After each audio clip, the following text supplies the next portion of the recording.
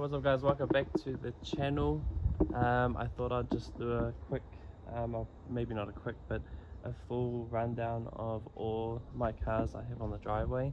Um, it has been a long time since um, I last uploaded all my cars so I thought well I better show you guys because um, yeah a lot has happened. So long story short I sold my Navara I blew fifth on the gearbox and I couldn't find another gearbox was really hard so I was just over it anyway. I got rid of the Navara um, I sold my E36 BMW I sold the R33 Skyline and I brought two R34s one was a factory manual it was green stickered when I brought it um, but yeah I worked on it for a few months. I got a VTNZ green sticker warrant on the first go which was really nice um, and then I swapped it and I swapped it for this. I'll show you guys right here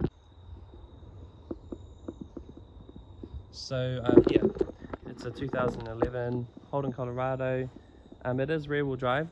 Um, I preferred rear wheel because I don't go off-roading or hitting the beach so um, it's less maintenance for me and I prefer them anyway.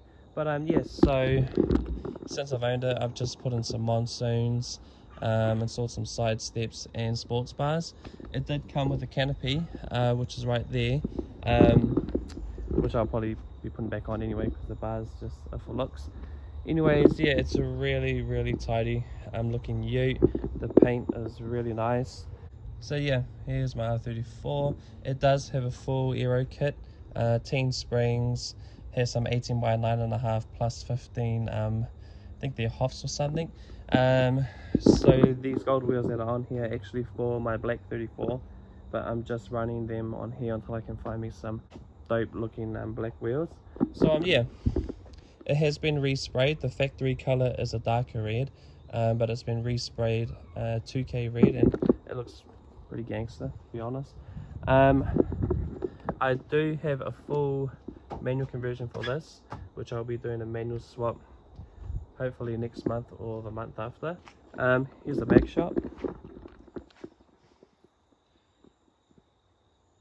yeah so moving on to the next car. Um, here is my s15 Silvia.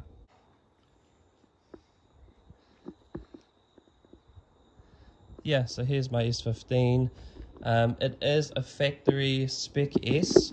So it's actually a factory non-turbo automatic. Um, it's been manual converted.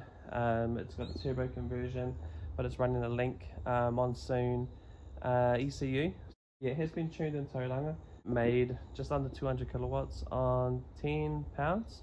Um, so yeah it does run really good but it needs to be suited uh, which is why it's jacked up in here. Um, I have installed drive shaft hoops. I've also done installed keeper springs plumbed the wastegate in done an ABS delete running hard lines. Um, also a big brake conversion so last and not least, here's my black R34 Skyline. Which you can see, um, haven't really done much on this since last time. I have made a new bumper support. Um, other than that, it's kind of just been sitting there. But it is manual converted, fully manual converted. It does start and uh, run. Just a few things do need to be done to it to get it road legal, but we'll get there. And yeah, so here are the rear R33 drum brakes for the S15 so I can put the rear um, big brakes in.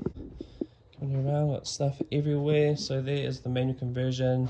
Uh, I got an RB20DET gearbox, R33, 34 manual front half drive shaft, R33 clutch pedal, same as the 34. So that'll be going in the red car hopefully uh, next month or the month after. I just need to get me a, um, I just need to get a clutch kit, uh, get the flywheel skimmed, um, and I think a clutch master and slave cylinder, is that what it's called? Something like that. Um, but yeah, that's pretty much a quick rundown of all my cars on the driveway. Yeah, more cars, more problems, but um, slowly getting them done. Anyway guys, um, hope you enjoyed the quick little update of the driveway. Catch you guys in the next video. Peace.